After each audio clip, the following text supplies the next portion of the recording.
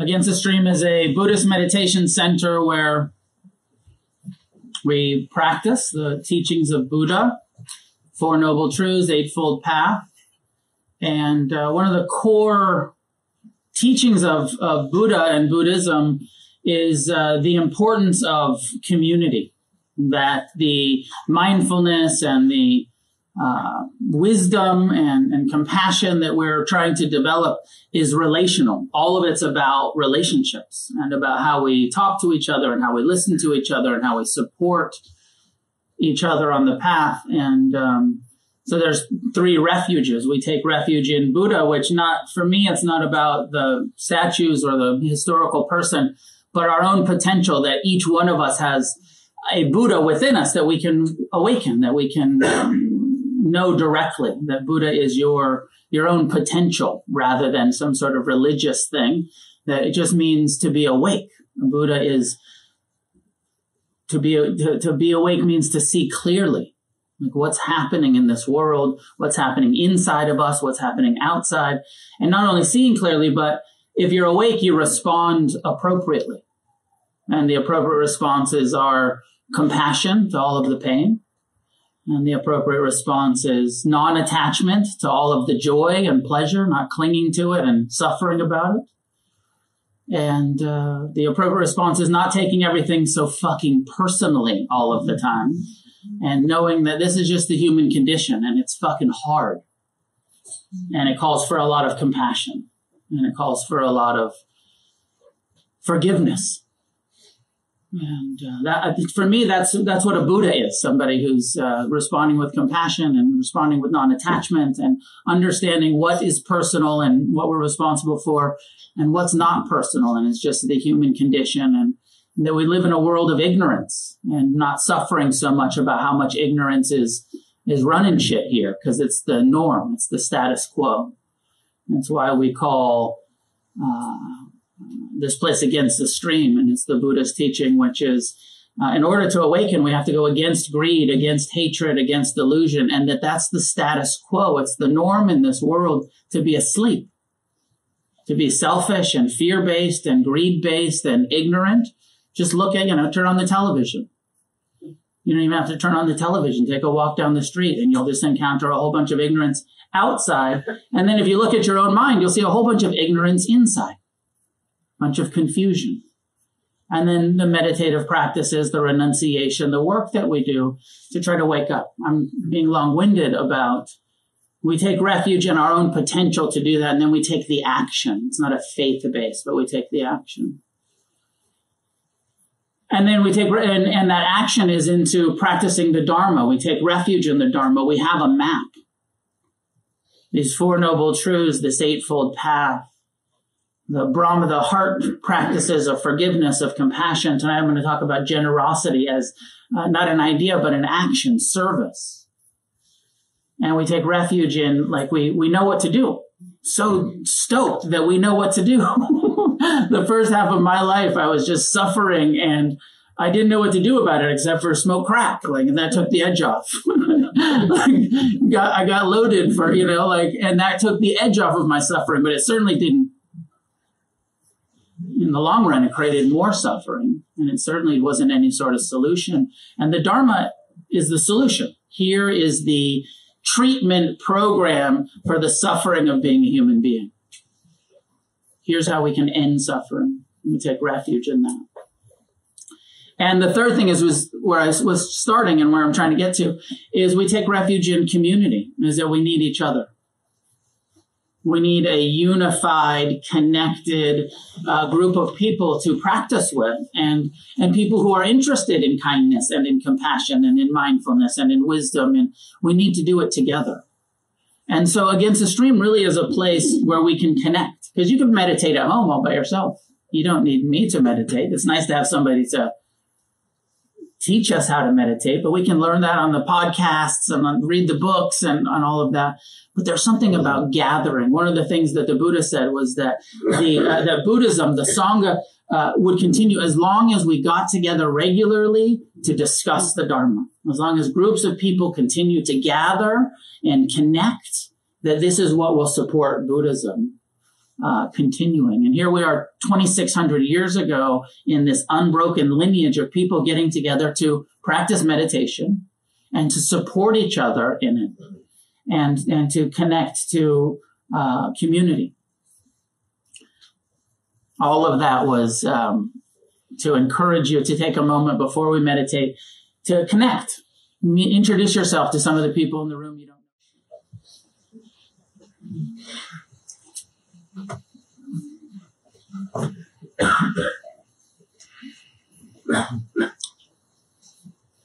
Take a moment to find a way to sit that's sustainable. Adjust your posture so that it's upright, spine upright. The rest of the body relaxed around the upright skeleton. Soften your eyes. Let them be gently closed. Release any unnecessary tension that you can release in the shoulders, the jaw. Establishing an inner attitude of friendliness, of kindness, of patience. The intention to be accepting and forgiving of your own mind and body. With this friendly attitude, bring your attention to the sensations in the body. As you breathe in, feel the sensations that the breath creates.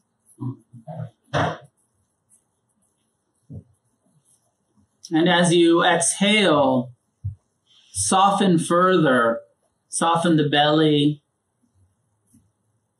relax into the present time experience of the body sitting breathing, feeling.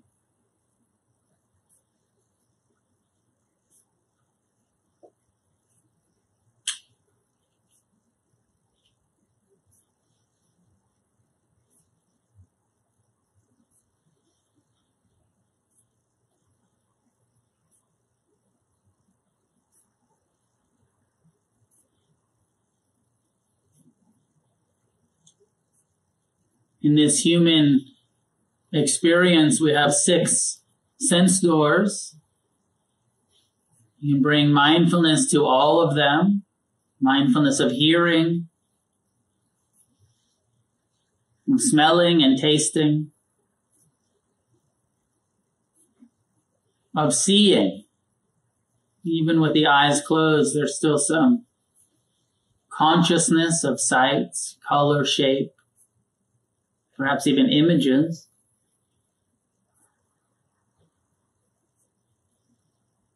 The sense door of feeling of the body, physical sensations from head to toe.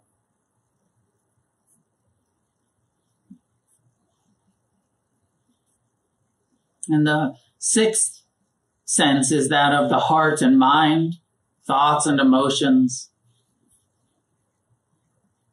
planning and remembering, hoping and fearing.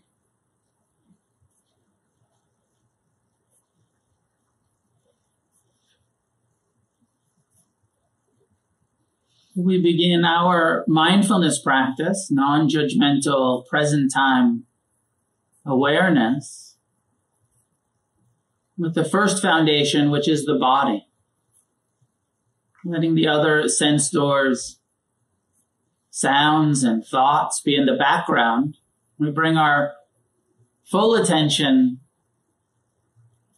to what the body is experiencing right now.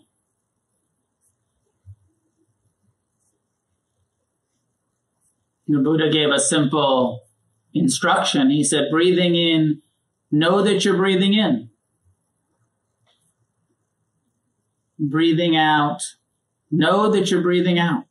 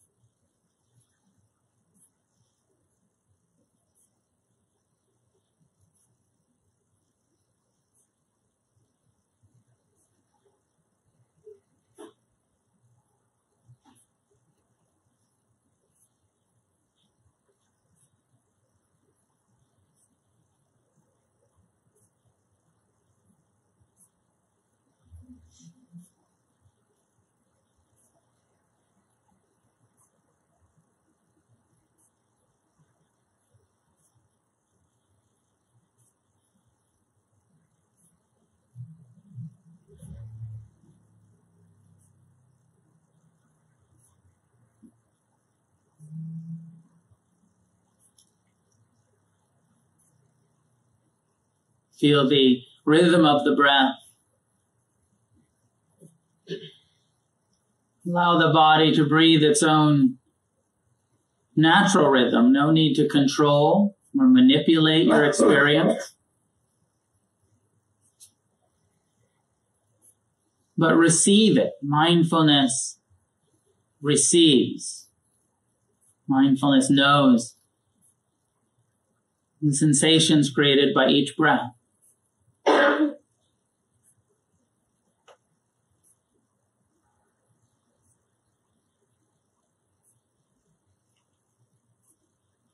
And of course, our attention gets drawn back into our habit of paying attention to what our mind is doing, thinking,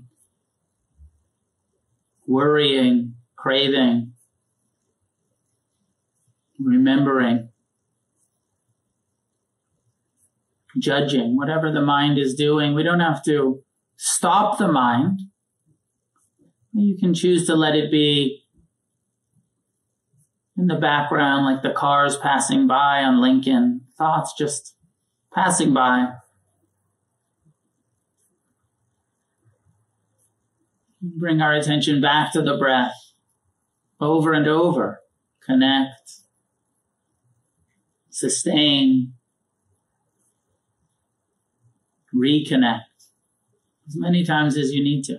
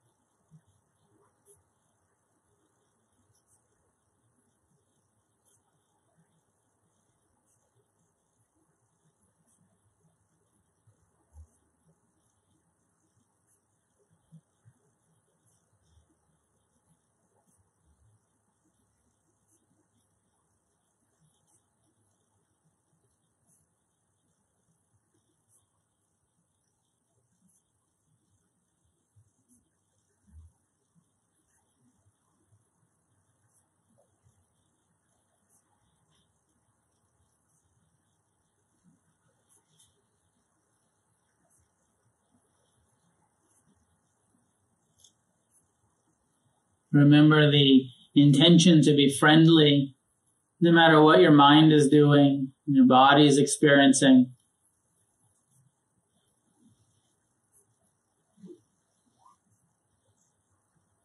Compassion is always the right response to pain. Your pain, the pain of others. Soften into your discomfort rather than hating it or trying to avoid it.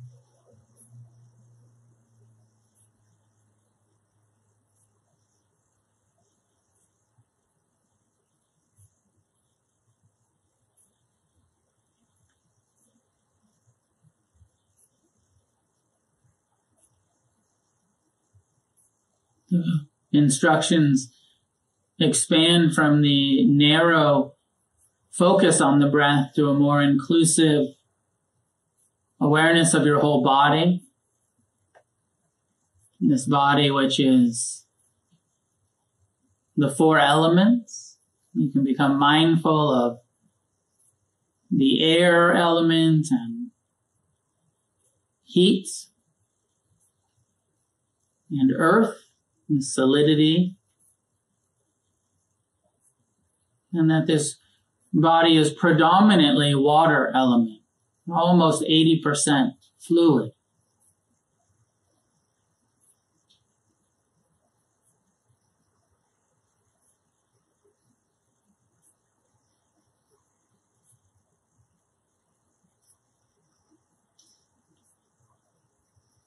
Can scan our attention through the body that we're so often identified with as self and see what's truly here, what part of this is me. And there is skin and bones. There are organs, tissues, muscle, blood,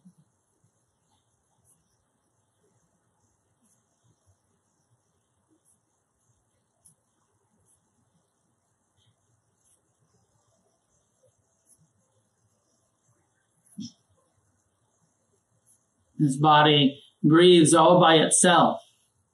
The heart beats all by itself.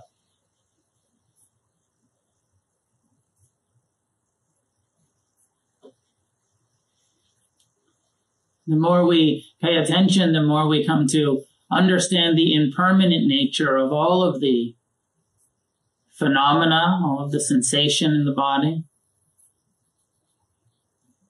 Whatever is happening is in a process of change, arising and passing, appearing and dissolving of sensation.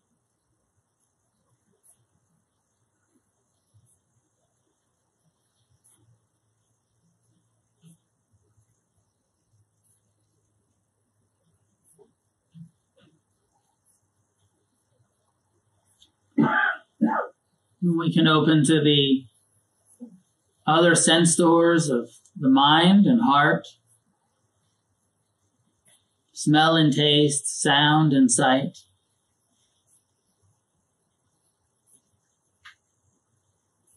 Present time, inclusive, non judgmental awareness. No such thing as a distraction because whatever is happening is happening now. They're just thoughts, emotions, sensations, sounds.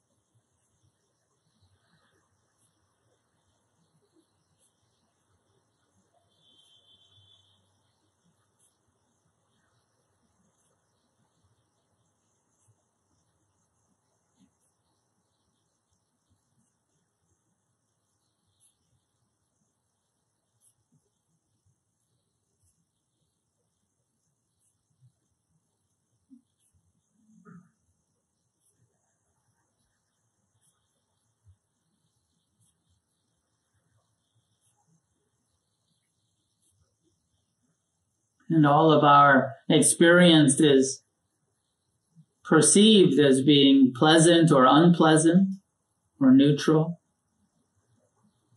Every sound, every thought, every sensation, even the breath itself. There's a liking, disliking. Experiences feel agreeable or disagreeable, pleasant or unpleasant.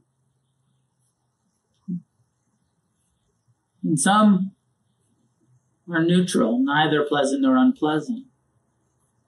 Bring this into your meditation, into your investigation of your own mind and heart, breath and body.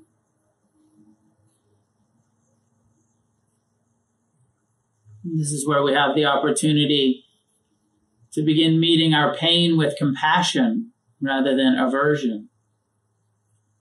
Even if it's just the pain of sitting still for a few minutes, just discomfort. An opportunity to develop mercy and compassion for your own discomfort.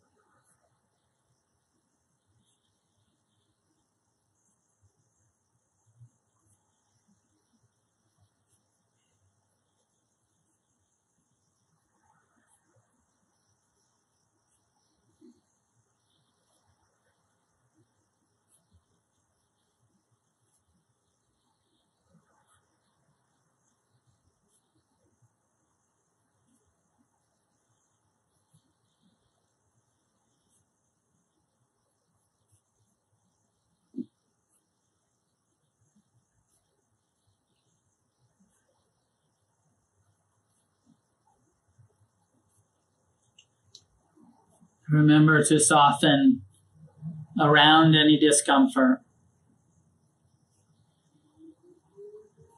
Remember to observe the process of thoughts arising and passing in your mind rather than getting so involved in the content. The mind has a mind of its own. It continues to think. You don't need to make that a problem. But you can also just come back to the here and now, observing thoughts rather than indulging in them.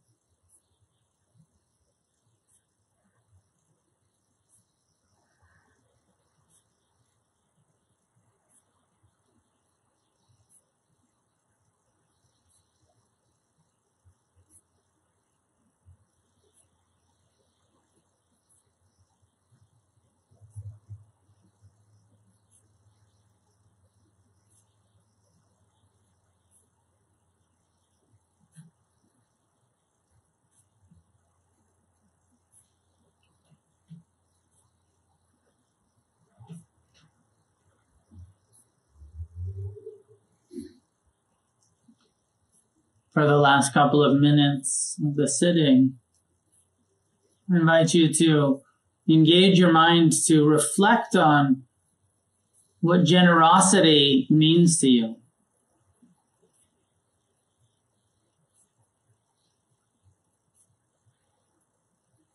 What place in your life does giving hold? Of being of service, of donating, of sharing your time and energy or resources with others.